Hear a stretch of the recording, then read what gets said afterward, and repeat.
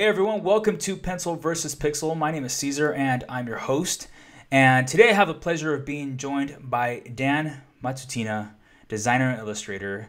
Joining me today, straight from the Philippines. It's such a long, long way from here. Dan, welcome to the show. Hi, thanks for having me here. Man, thanks for joining us. This is awesome. So, a little bit about Dan. He is a designer and illustrator, and he's also the co founder of the uh, design studio Plus 63 Design Company. He's worked with clients such as ESPN, Wired Magazine, Coca Cola, uh, the Wall Street Journal, among many, many others. He was also recently awarded the Art Directors Club Young Guns Award in 2013. Uh, Dan, so before we continue, pencil or pixel? Pencil? Ooh, all right, I like yeah. that. I like that. Do you start a lot of your uh, projects with pencil or? Yeah, because I'm I actually spend a lot of time doing the sketches for ideas more than spending a lot of time on the computer. I mean, I finish everything. I do all my work in the computer, but usually starts with pencil. So I never really start doing work in front of the computer. It's most I always start working on pencil. Very cool, very cool. I love it. Dan, I've given a little background about uh, what you do, but um, we want to get to know you a bit better. What's your, what's your story? Um, currently, I I sort of call myself a designer and illustrator. So I I do a lot of illustration work on the side, but I also have a design studio. I work with three other studio mates. So I mostly do graphic design work, identity for different clients. So the thing is, most of the illustration work I do it's kind of freelance in nature. So most of my clients are are not from here, mostly from abroad. But for design work, uh, I guess 80%, 90% of our clients are, are from here in the Philippines. And I think we need that because, especially for design, you need to interact with clients a lot. You need to talk and discuss. Whereas for illustration, I think being uh, out of country or overseas is okay because you can, you know, it's just mostly like illustrating things based on brief from client. So you, did you say that 80% of your clients are in the Philippines? For design work. For design uh, work. For graphic novel. But for illustration work, I guess most of it is from abroad. Like where about around the, around uh, the world? Yeah, mostly I guess in the US and the UK. Some are in, in other parts of Europe, but generally it's yeah, it's the US and UK. Awesome, awesome. So um, we'll we'll talk a little bit more about about um, you know your work uh, abroad and even local. Uh, but wanted to ask you, did you always want to do design or be a designer? Um, good question. I when when I was in high school, I was mostly into. I mean, in grade school and high school, I was. Uh, I did a lot of drawing on the side, making comics and doodling on our walls, and but I guess my main focus at that time was mostly in science, because I went into uh, grade school and high school would focus on like science and engineering and technology, but but when I was in fourth year in fourth year high school, I I decided I wanted to try a course in fine arts and arts, uh, totally left field. But I think I, I read in a magazine about this local comic book artist who did some stuff from Marvel, and, and I look at his like CV. It was written there that he went into fine art school. So that's actually the time when when I found out there's a course for fine arts because I never really I just thought drawing was like a hobby for most people, and especially growing growing up in the province. We don't really have an exposure to like arts. I mean, you can see art, but you don't have uh, like a exposure in design or illustration or comic book stuff. So it was it was all new to me, and then I researched about it, and then ah, okay, so there's a course for that, and so I took up uh, visual communication course in, in college. So I guess even before I was interested in art, but I never really knew if it was design or illustration. But this was just something visual, something that involves drawing. And when, when I went to university, that's when I found out that there are they have there are, there are categories. There's advertising, there's graphic design, there's illustration, there's motion design, web design, all these things. So I learned most of those in back in college. So what was the uh, what was your did you change majors? Not really. When I went to college, I I went into visual communication because I think that was the one closest to advertising. I had to explain to my parents that there's future in uh, there's future in arts because the course in the university was you either go to industrial design or visual communication or studio arts, which is painting or sculpture. So I guess the most commercial one was uh, visual communication, which is very much kind of inclined to advertising. So I guess by doing by choosing that, my parents sort of under, understood that there's a bit of future in in in the arts. Did you um, you, your did, did your parents have to have to approve before you decided to to jump into that? Mm, well, it was a long discussion, I think, because here in the Philippines, especially in the province, it's it's very conservative. So you either become a doctor, an engineer, a nurse, or a, a lawyer or an accountant. So those are just the main courses you can pick. But I was I, I don't know, I was a bit hard headed. I, I just thought yeah, I'll just try doing something for like visual arts or fine arts and see how it how it works. My other choices my other choices of course in college was either chemistry or like computer science. So it was mostly science, but yeah, I decided to like just push through with uh, uh, arts. Yeah. So if it were science, let's say you decided to go to science, right? Um, yeah. What what part of what would you want to study in science? I, I was I really liked chemistry, so it was either chemistry or computer science, either either of those. You know, the reason I ask is because um, I, you know, a lot of your a lot of your work is very uh, geometric, and mm-hmm. um, I don't know for some reason I, I see the correlation, you know, science and, and, and your artwork. Um, I could I could sort of see that, you know. I mean, you like uh, uh, you know, a lot of your things are uh, like I said, geometric, but also like um, spaceships and those kind of things. You know, it seems like you're really yeah. Attracted to that. Is that maybe because yeah. of the science background? Yeah, I think so. I, I, I, there's, I don't know if it's 100% that, but even when I was young, I, I was into like reading into science, encyclopedias and science books, and most of those books are still at home back in the province, and those are really old books.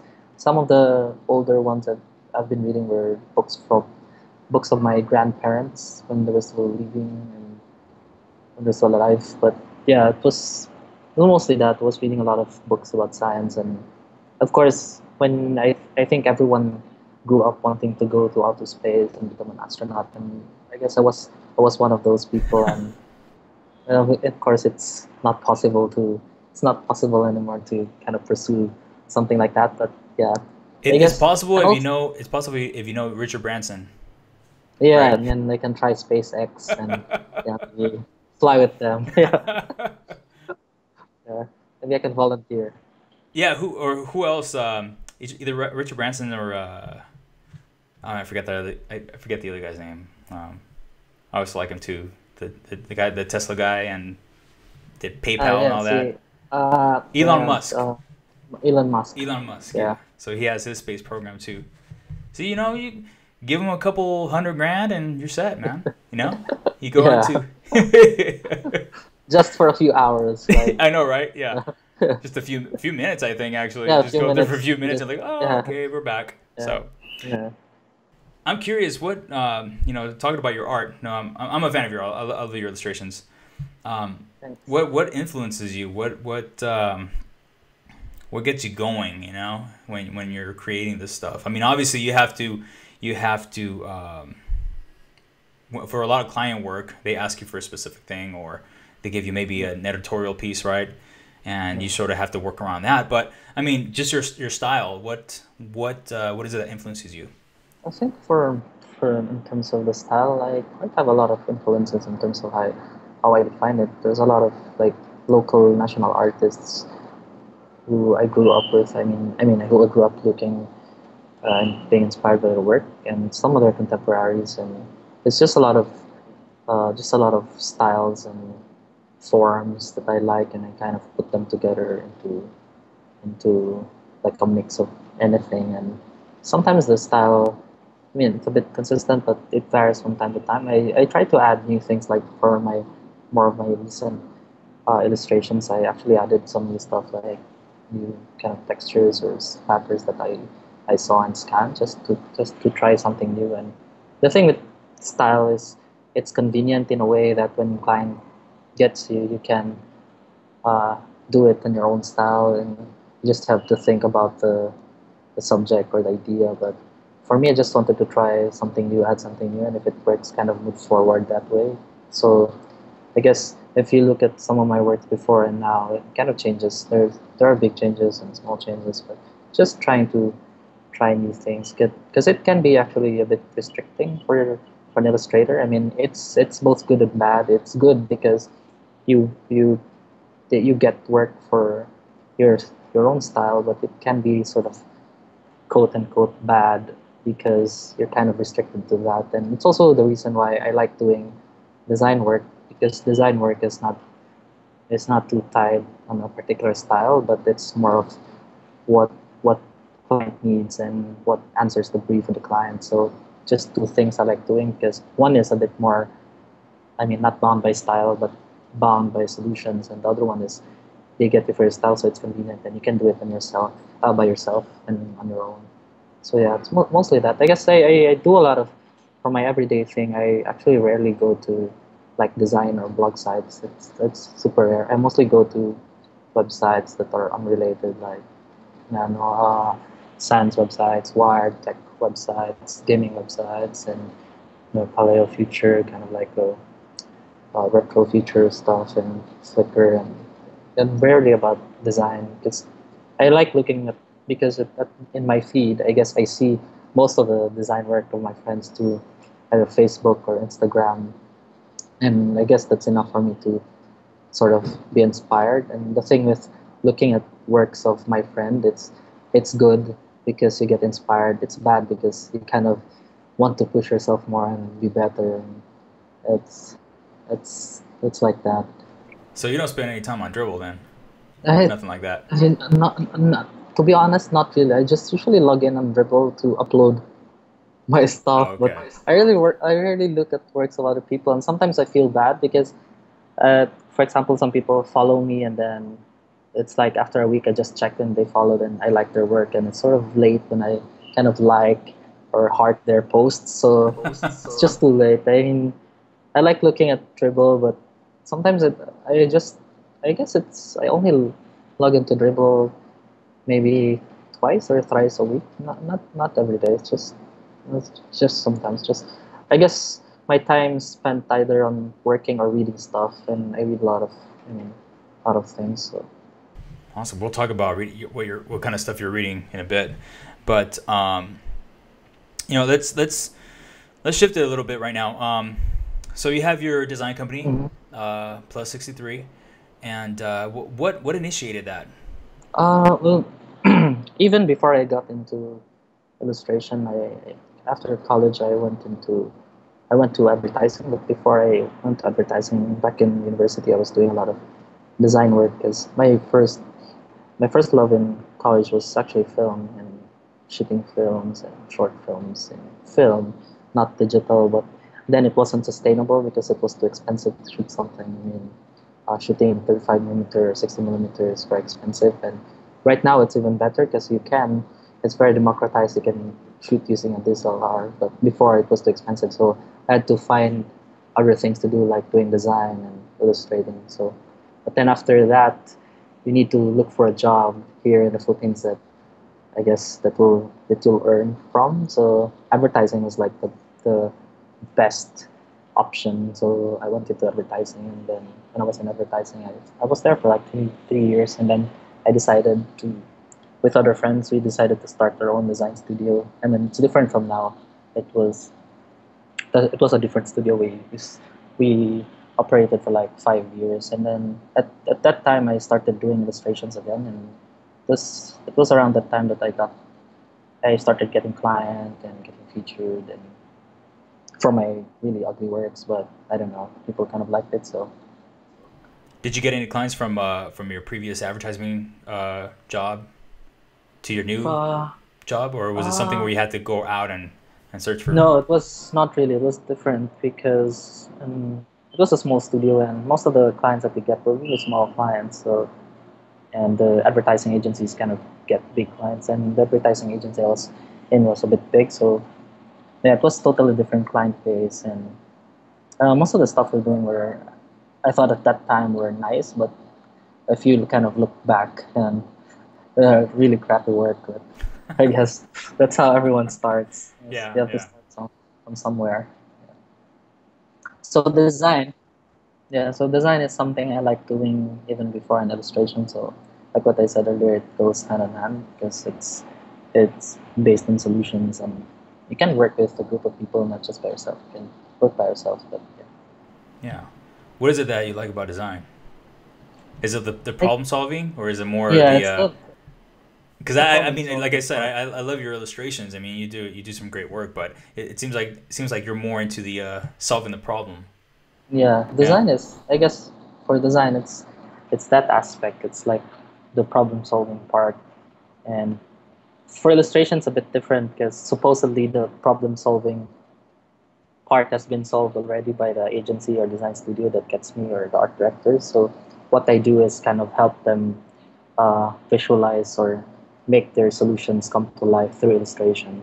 So I guess as an illustrator, that's that's where I where I'm coming from. But if you're the designer, you get to undergo through the whole design process and finding solution, researching, and do the, doing the actual work. So Awesome. So, you're, you okay. You, you started your, your company, uh, Plus 63, and you said you just had a couple of small clients. What sort of thing did you do to, to start growing your client base and, and start getting even more clients in, in the door? Yeah, so when we started, it wasn't actually Plus 63, it was different name, so Ideals. And it we started we we operated for like five years. And after five years, we kind of all the members kind of uh, separated, but me and three of my other partners we started our own.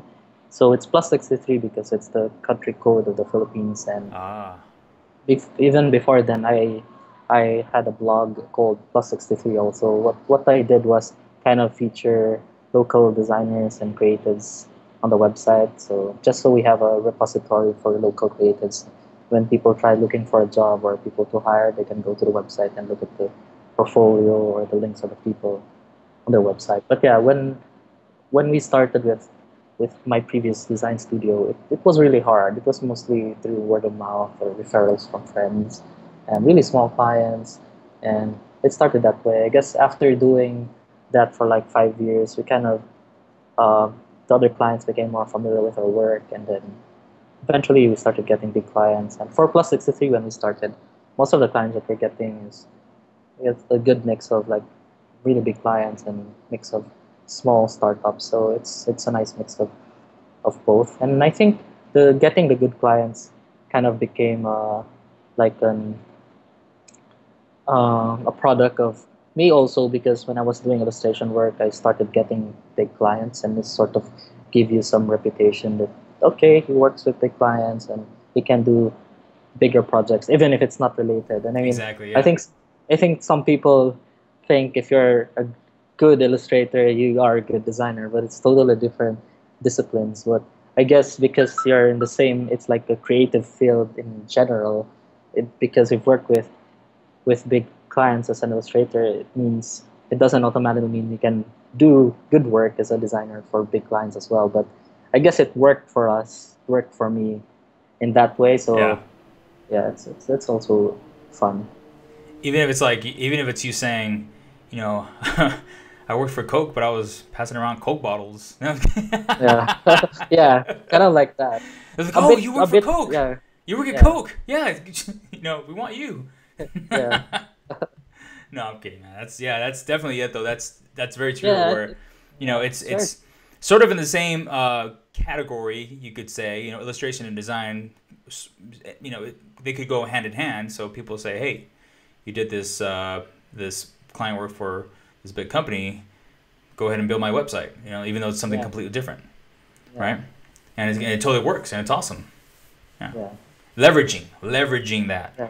so you're doing you're yeah uh, dan so um so can you tell us about a time when uh, something didn't go right? You know, I ask this question a lot, and I ask it in so many different ways. But can you can you talk to us about a, a, time you had a challenge, uh, maybe with client, maybe in um, in design, illustration? Uh, what happened, and uh, and how did it all get solved afterwards?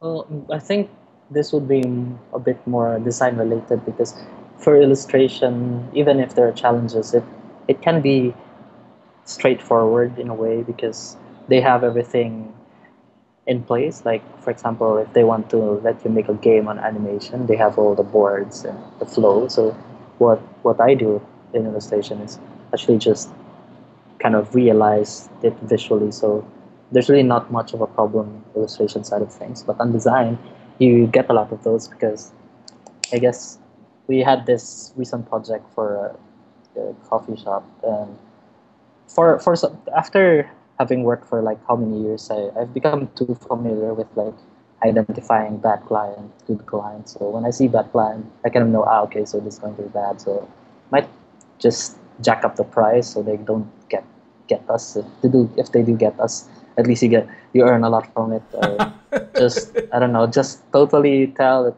tell a client you're busy or something like that. But for this one, because it's coffee and it's something I'm very passionate about and something I really like, so I was really blinded. And even my studio mates were telling me, Dan, it's a bad client, and you said it yourself. And it's like, no, this is this could be good. I mean, this is this is going to be awesome. Yeah. Um. Anyway, so what happened was we presented different ideas and different designs, and how many times it, it was like they they agreed and they approved, and then after approving it and signing it off, it was like, you know what, my friend said it's not going to work. He doesn't like this part, so you have to redo everything. So, like, so this what? is after no. you've already you've already done you already finished.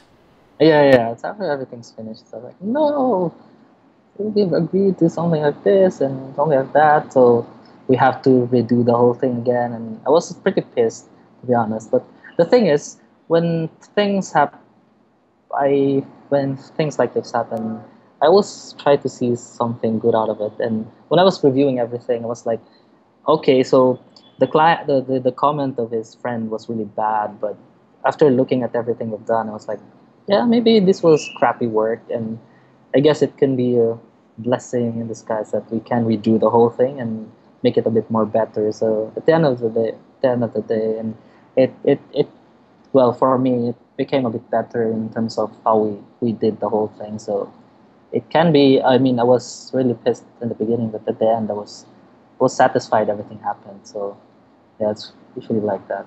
So did they wind up keeping the the work or Yeah, yeah. We, we, we finished the work for them and it was okay. We, we, we resolved everything and for for things for projects and if something like that happens, I'm very I'm usually direct into telling them that no, it's not going to happen. No, you're wrong, and this is why you're wrong, and I have to explain everything. And, and for me, it's okay. And I, I personally thought at that time I was on the right, and maybe I was I was right, but it was also good that it kind of happened. So we were able to revise a, a kind of almost crappy work to something a bit more, a bit nicer, I guess.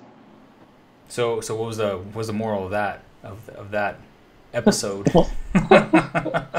I'm not really sure, but I guess the moral is if you think it's a bad client, you shouldn't just should trust your instinct. Don't, I think don't just most, ignore it. yeah, don't just ignore it. I think for for designers, especially and illustrators, especially those that have been doing it for how many years, you kind of have that kind of instinct if uh, know that you know if it's a, a good or bad client, and I think you should follow that instinct and for me, I, I actually knew about it, but I was just blinded with the potential of the project. So kind of like I like coffee and it's going to be nice, but yeah, I was wrong. So what if what if what if I'm a new designer and there's a coffee shop approaching me for a job, and they're obviously a really bad. Like they're not, you know, they're all over the place. They don't even know what they want, but they're offering me to to to do work for them. What would you recommend for that uh, design that first, uh, you know, this is let's say this is my first big job. You know. But, but are they paying you? Yeah, they're paying you, right? And they're paying you. Yeah. So what do you think? I mean, should should a designer sort of experience that or turn away from it? I don't know. If it was me, I- would still get it.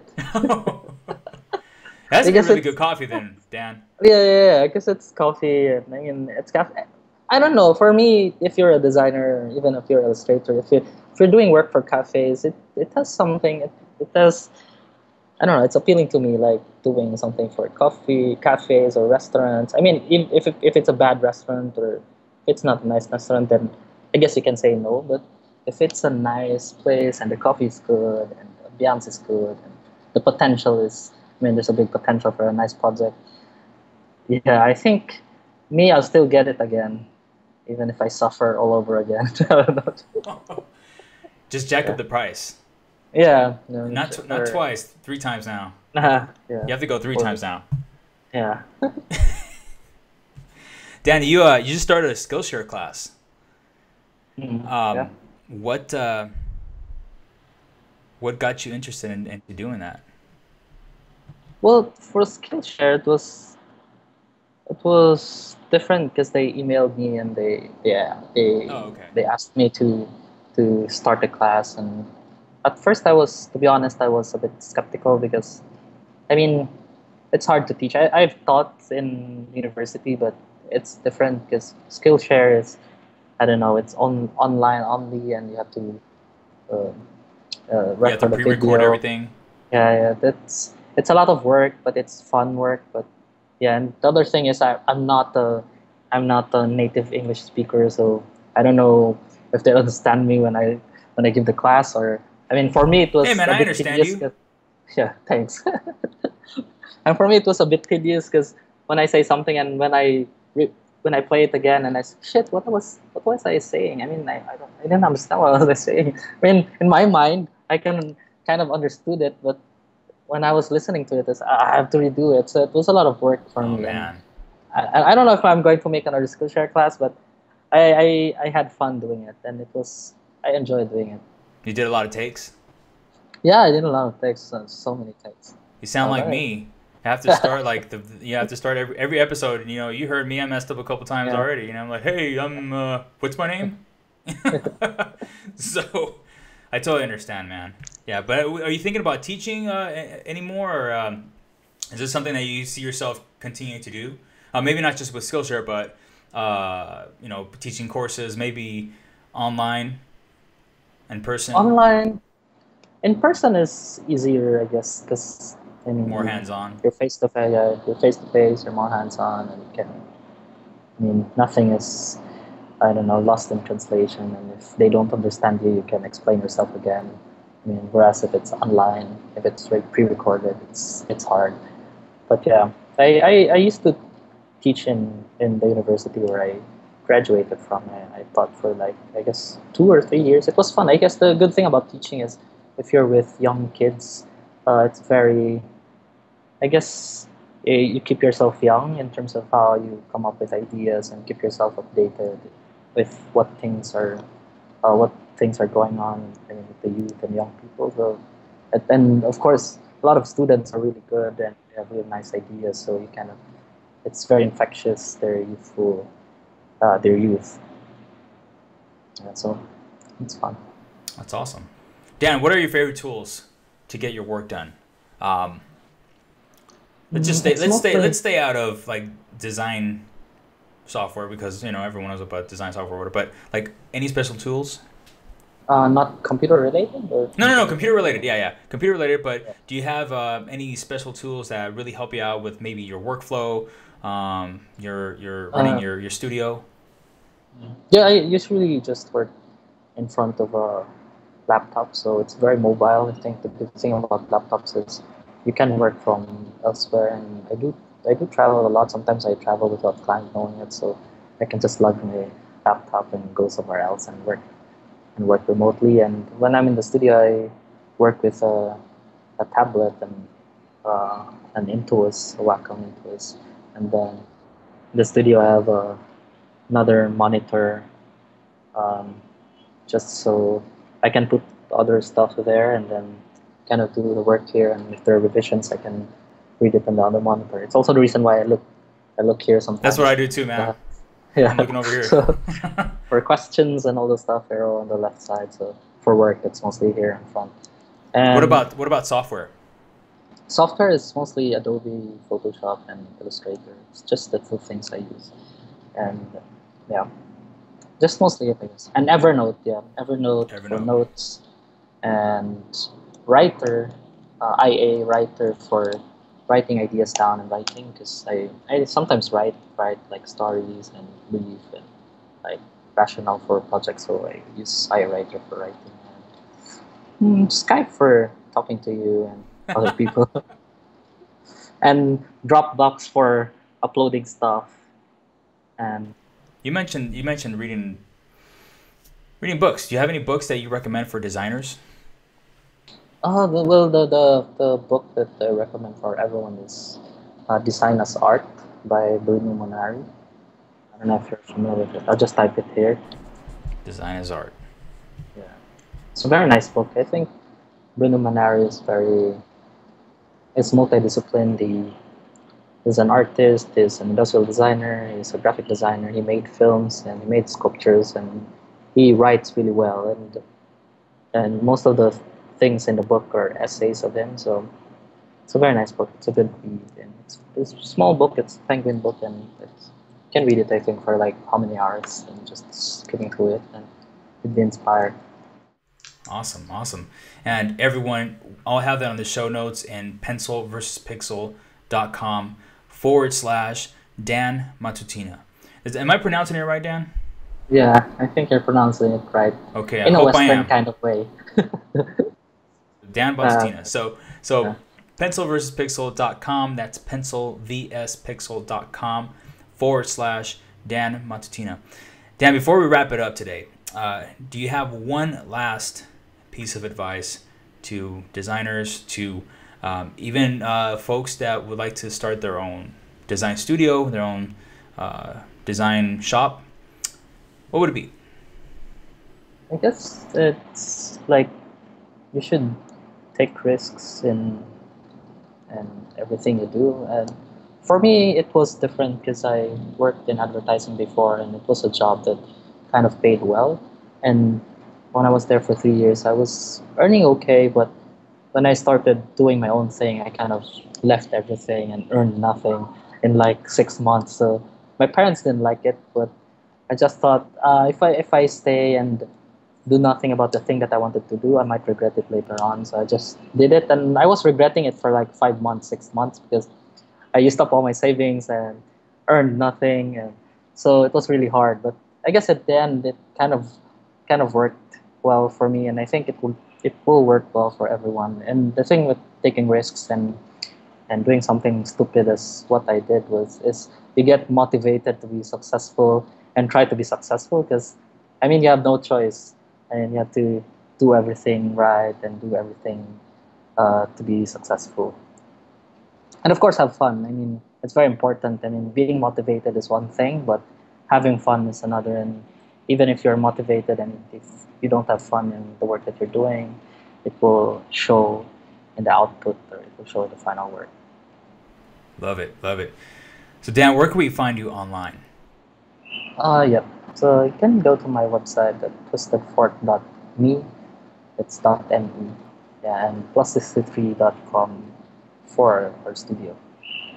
And everyone, I'll have that again in the show notes on pencilversuspixel.com forward slash Dan Matutina. Uh, Dan, thank you so much for taking the time and uh, chatting with sure, us today. It was fun talking to you. Yeah. Thanks for having me here. Absolutely, yeah, absolutely, and thank you everyone for joining us today, and uh, and we'll see you next week. Bye, guys. Thanks. Bye.